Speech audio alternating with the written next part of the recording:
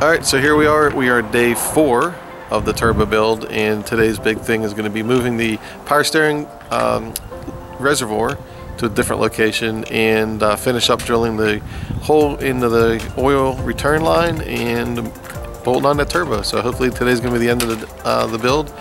I'll be driving it home waiting for my injectors to come in and then uh, go get it installed and uh, get the tune done. Okay, here's the hole we have cut so far, but what we need to do is um, make a screw, or getting a bolt actually, and we're gonna stick it in there to kind of fill that hole in, so whenever we do tap it and create the threads, uh, none of the shavings go down into the uh, into the oil there. So you can hear Delmer's actually in here, kind of cutting the top off a little bit of a screw to make some room. Oh, we just got finished.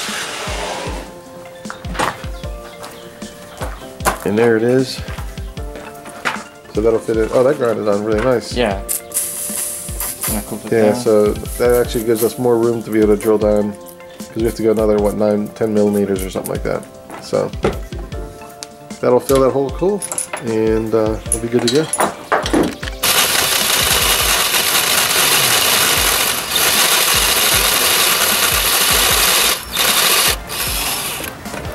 There it is, it's all tapped in. Threads are in there, Delmer did a fantastic job. And we now have our oil return line for the turbo all set up, which is going to be right here once we get it in there. And we're good. Good job. Here we are, we got the drain hose for the oil going into the um, thing attached. And we have the uh, oil feed line going in as well. We're going to reinstall the engine mounts, which were down there, get that all back working again. And then we're going to relocate the power steering fluid. I already got the bracket attached there. So once we get the engine mounts done, then we're going to go ahead and do that uh, with the power steering fluid and eventually start installing the turbo. Alright, we officially have the engine mount in there and now we're going to head to the reservoir. Uh, we're basically to um, empty it, disconnect the tubes, move it over here and reattach it. I actually got it from DDM Works. They have a little kit you can purchase and um, to make it a little bit easier for you. And it's going to fit here. It seems like it's going to be a tight fit, but apparently it works because that's where they have it all set up at. So we're to empty this out and, uh, and move it.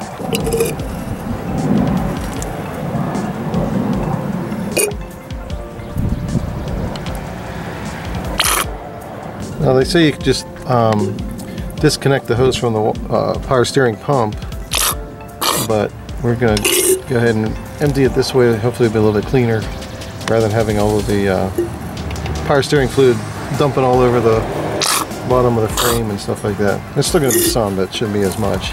Alright, we have the power steering reservoir uh, in its new spot. There's the new line going there, and it's going underneath the battery, I'm sorry, underneath the fuse box, over top of the battery, up there, and there is the new reservoir area, the location. And then the smaller um, smaller pipe or tube comes around and attaches to its original one that went down, I guess, uh, to the power steering area, whatever's down there. So anyway, that's done. Now what we're going to do is put the exhaust manifold on, just kind of set it there, because we want to see how close it gets to this pipe here, or this uh, hose, uh, for the power steering, because we might have to put some kind of shield or something on there to get the heat away, but we're going to test fit it now and see how that works.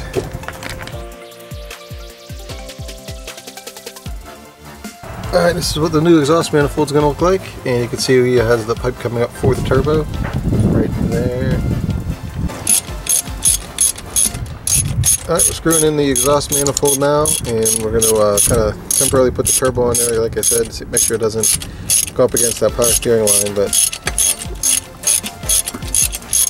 we are getting very, very close to kind of being done. As usual, we ran into a bit of a snag.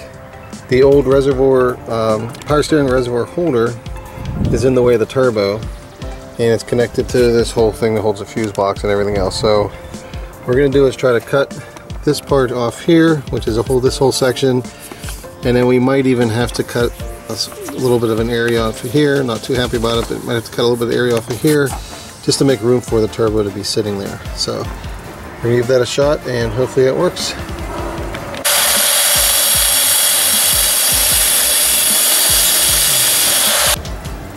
All right, we cut one piece off of that bracket. What we're trying to do is just kind of move it back a little bit. And we're going to drill two new holes in the um, frame there and slide it back and then attach it to this as well. So hopefully just by moving the whole um, the whole bracket back, this is going to move the fuse box back a little bit. It's going to make enough room for the uh, for the turbo and still have that metal piece protecting all the wiring and stuff like that.